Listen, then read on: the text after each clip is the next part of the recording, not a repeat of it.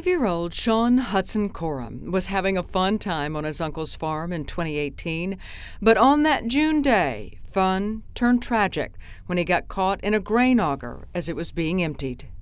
Life is, um, you know, before and after uh, in, in that time frame, and will always be before June 2nd and 2018 and after.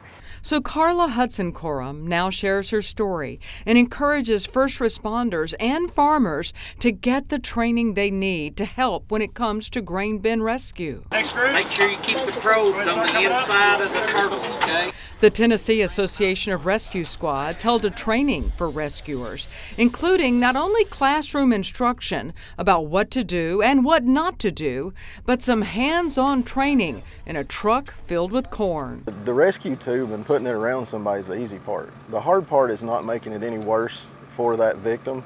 Uh, and also not letting them get into a bind as far as a responder getting in the bin. Because if they don't understand what they're, they're dealing with, uh, they themselves can become entrapped and become more of a problem. It's not a lot of room.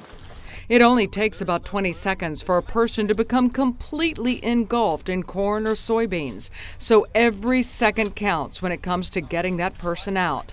For Tayden Hudson, a volunteer at Arrington, Tennessee Fire and Rescue, as well as a farmer, this training is invaluable. It's very easy to make this problem worse and we could become a victim ourselves. And that's what we don't want, right? If somebody's loved one's trapped and they see the rescuers, they want us to rescue. So giving us the base knowledge, the tools for the trade, just more tools to put in our toolbox to maybe effectively and safely at least start a rescue.